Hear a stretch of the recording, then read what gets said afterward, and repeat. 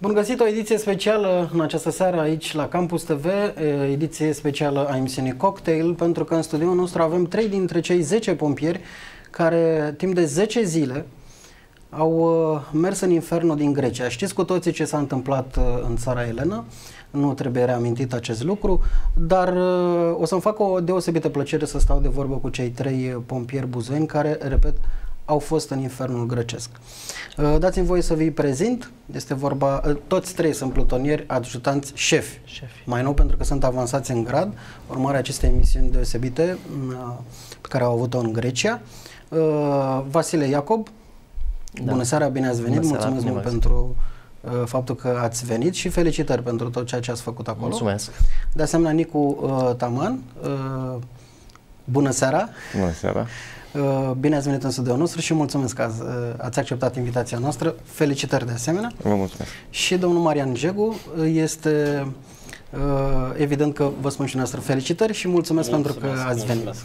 venit. Trei dintre cei 10. Este evident că noi vorbim de o echipă, dar deocamdată vorbim cu cei trei în această ediție specială, spuneam. Și în primul rând v-aș întreba cum vă simțiți, că ați venit luni, da? Luni, luni ați revenit din, uh, din misiune. Da. V-ați reîntors în țară. V-am văzut la televizor, nu de alta, acolo, la festivitatea de premiere, uh, avansare în grad și ați primit uh, și emblemă, nu? Emblema da. de onoare da. din partea doctorului Arafat, șeful da. DSU, de da. fapt. Da. Da.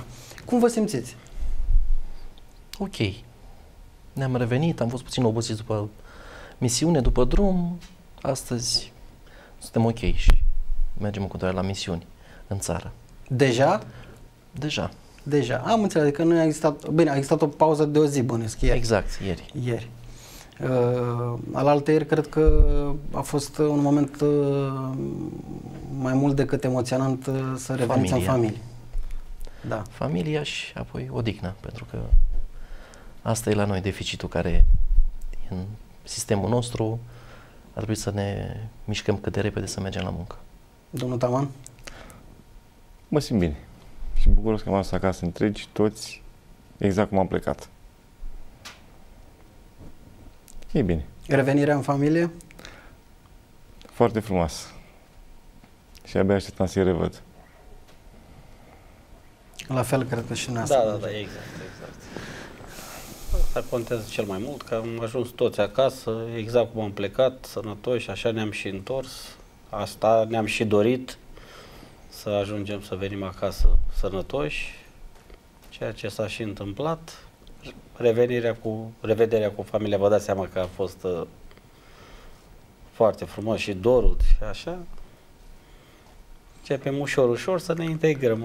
Adică, practic, nu cred că au fost misiuni uh, ca pompier vorbesc, da. misiuni care au durat mai mult, uh, atât, așa de mult, 10 zile să uh, plecați de acasă. Repet, ca pompieri. Da, da, da. Nu a existat. Nu, nu, nu până acum nu. S-a fost. Să zicem, vreo două zile în loc de uh, Au fost șase, zi, da. șapte la inundații prin 2013, da. 2015 au fost, dar nu așa, deci la 10 zile nu. Plus că aceasta a fost o misiune... Și a fost misiune internațională. Da, misiune internațională. Prima misiune internațională. Bun, înainte de a intra în uh, discuția asta cu misiunea din Grecia și cum ați ajuns acolo, aș dori să vă cunosc. Evident și telespectatorii uh, sunt convins că ar trebui să vă cunoască și să știm câte ceva despre dumneavoastră. Domnul Joc, de exemplu, de când activați ca pompier? Uh, care uh, povestea carierei dumneavoastră? Da. ca pompier militară? din, uh, din 2006 iar din 2001 până în 2006 am fost uh, militar angajat la MAPN. Când am auzit că se scot locuri la pompieri, am dat examen, am luat examenul, după aceea mi-am dat demisia de la MAPN și mi-am continuat drumul în continuare. N-am făcut nici măcar o zi de pauză. Da, cum a fost drumul, adică decizia asta de a deveni din militar să, de carieră să deveniți pompier? De ce pompier? Uh, de ce pompier? Și din curiozitate și din plăcerea că vă dați seama că nu și să desfințase unitatea de la Râmnicu Sărat aș, militară și am zis decât să stau plecat în unele zone ale țării, mai bine revin în orașul meu și desfășor activitatea în tot în o unitate militară. Am fost învățat și îmi și place ceea ce fac mai nou. Da. De, deci cu experiență, experiență, da, destul, experiență de, destul de... mulți ani. De altfel, to- toți trei activați în cadrul detașamentului de la Râmnicu Sărat, Exact. nu? Da. Așa. Uh, Sunteți râmniceni. Râmniceni Da. Râmniceni toți trei? Nu. Eu sunt buzoian. A, Buzoian. Faceți naveta. Exact. A, așa. În taman tot râmnicean. Da. Am înțeles. Bun. Uh, și în această îndelungată, zic eu, carieră de pompier, uh, a fost vreo misiune mai dificilă decât asta?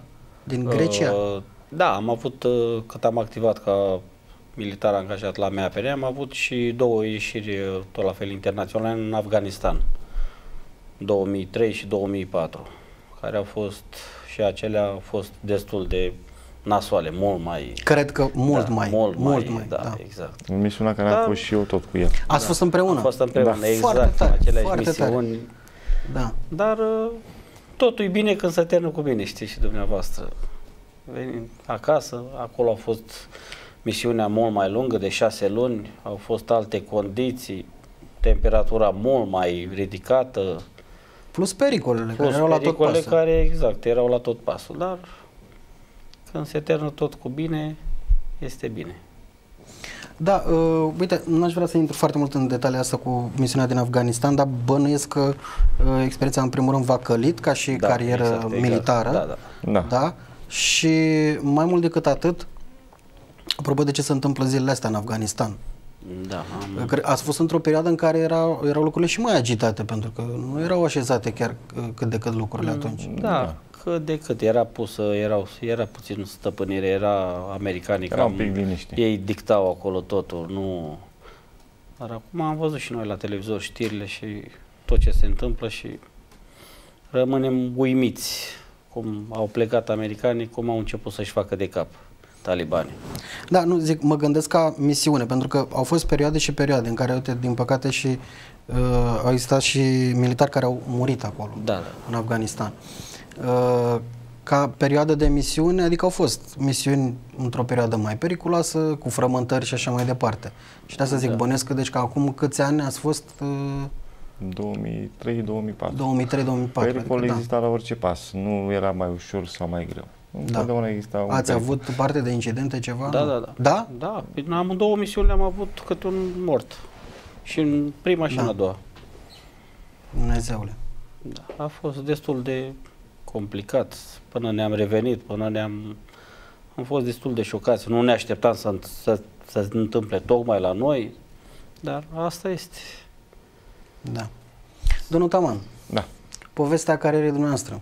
E asemănătoare cu a colegului meu, Marian, tot din 2001 până în 2006 la MAPN, după care m-am mutat la pompieri.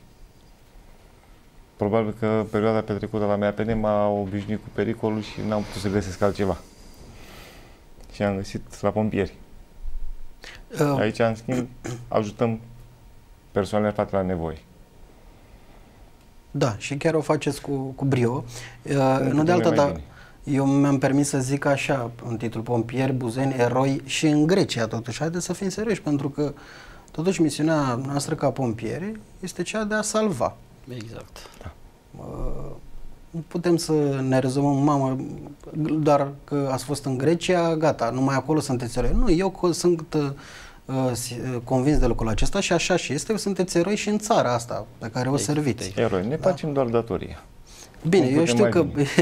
modestia asta incurabilă uh, uh, este, uh, cum să zic așa, e- este enervantă pentru mine. Bine, nu e în ghilimele enervantă, dar eu țin totuși să spun acest lucru că sunteți eroi și în, ț- și în primul rând contează foarte mult pentru țara noastră uh, acest lucru.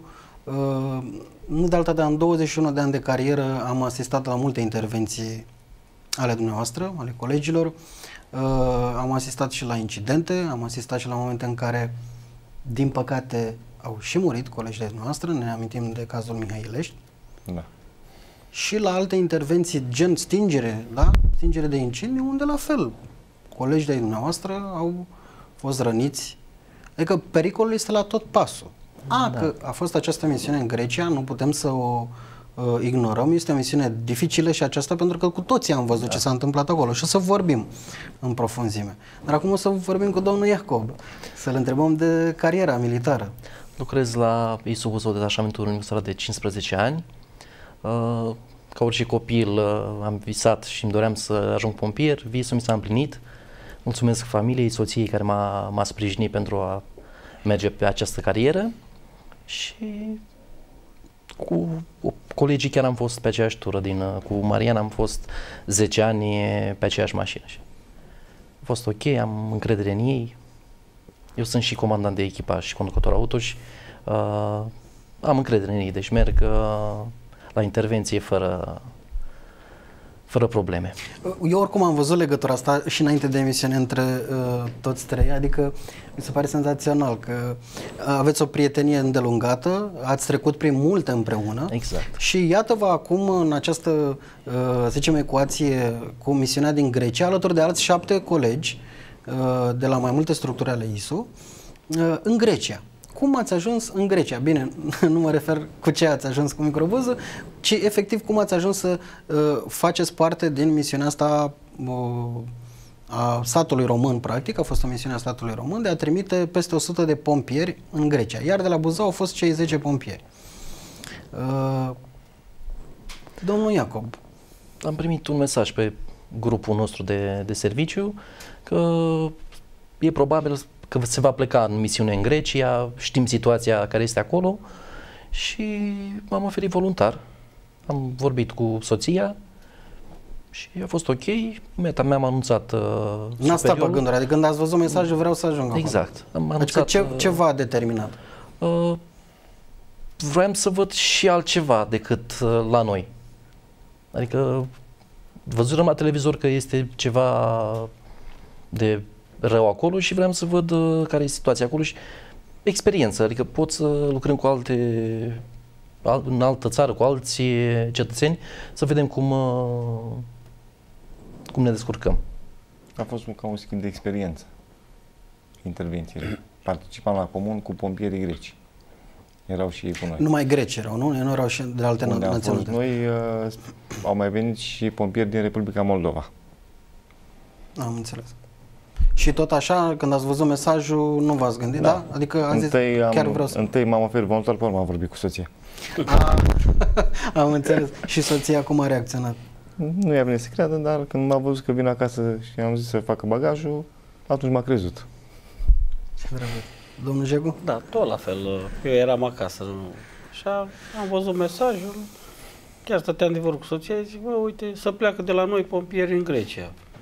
Și să nu spui că vrei să pleci. Zic, ba da, aș vrea dacă ești de acord. Și da, dar știi că te duci acolo, e altceva, nu o să fie ca aici, o să fie mult mai greu. Și da, îți dai seama că da, odată ce vreau să mă duc, îți dai seama că sunt conștient că o să fie greu sau chiar foarte greu, dar vreau să mă duc. Da, din partea mea, dacă vrei să te duci, eu te las. Da? Ai grijă să te întorci sănătos acasă, nu pățești ceva. Și dai seama că o să am am scris pe tot la fel pe grup, am scris, dacă se poate, vreau să plec. Și zic, bine, atunci, da, dar vezi că de seară la ora 8 s-ar putea să fii la București. Asta era ceasul 3-4 după amiază. Da, nu-i problemă. Fost bagajele și am făcut bagajele și exact așa, la ora 8 am fost în București.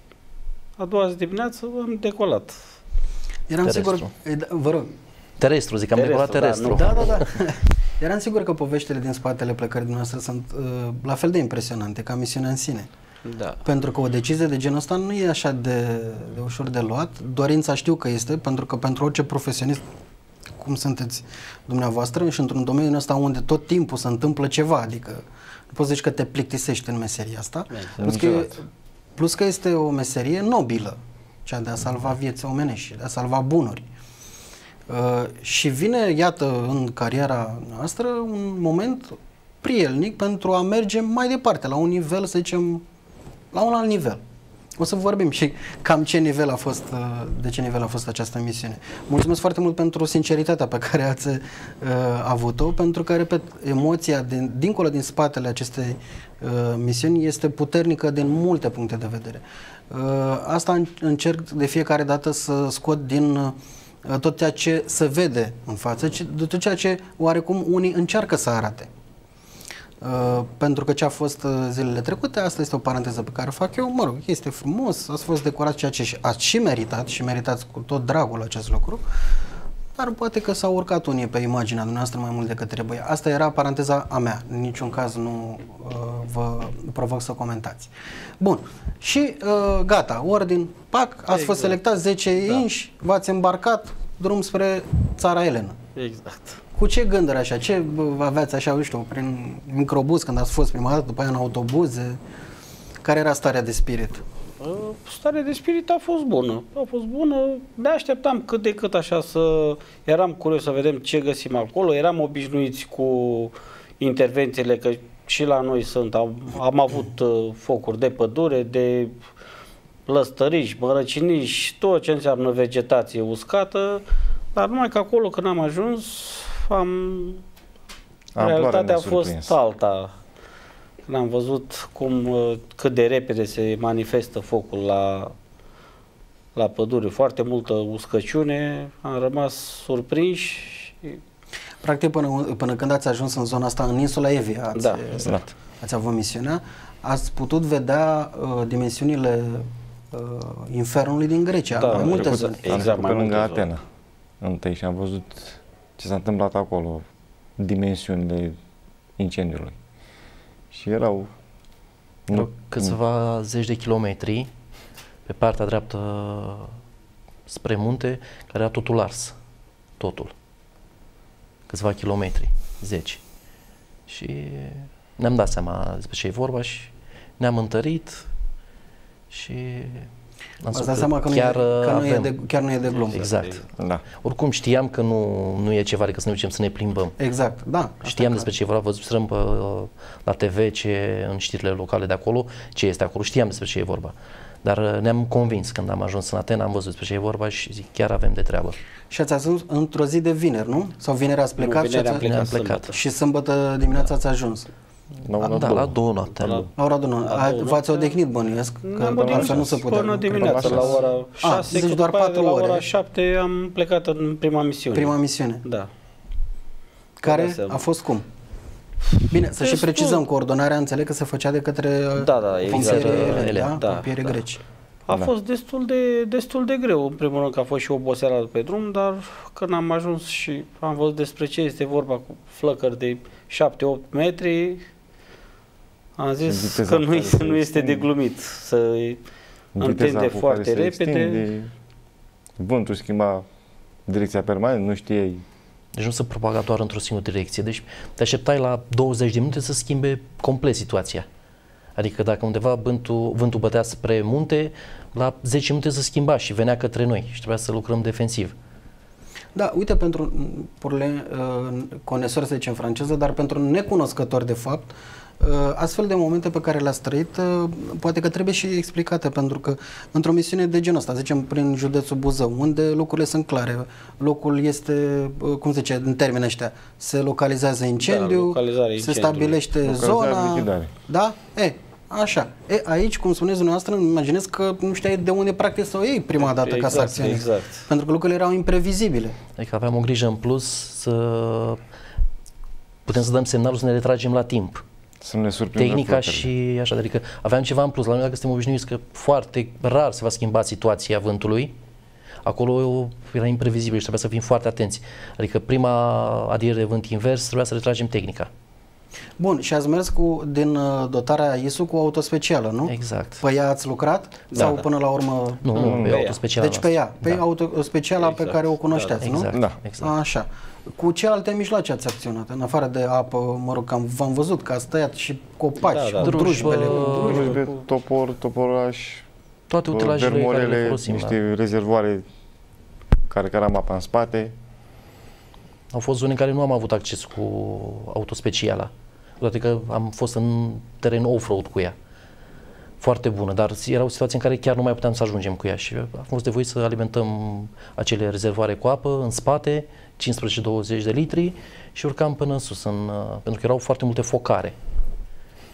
Și prima misiune cât a durat? Câte ore a durat? Uh, șase ore. Șase ore. Șase Șase Șase ore. ore, da. De la ora 8 la ora 2 schimbul 1 și de la ora 2 la ora 8 schimbul 2. Și acolo ați fost toți cei 10 buzeni, pompieri buzeni grupați în Da, zona da, respectivă? exact, adică da, da, da. Da. Am înțeles. Deci ați fost în familie, cum s-ar Exact, zice. exact. V-ați sprijinit unul pe celălalt. Tocmai. Și apropo de ce spuneați dumneavoastră cu trebuie să-ți dai seama de unde, ca să ai, ai timp să te retragi Exact. din zonă ca să nu te expui mai mult pericolului. Da.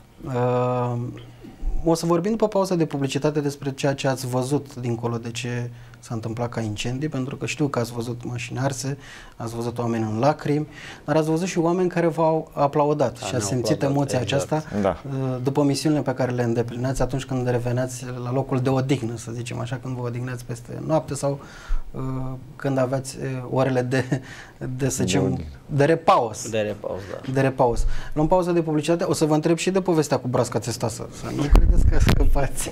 V-am văzut pe Facebook acolo. Uh, lucruri interesante și după pauza de publicitate revenim uh, în câteva minute.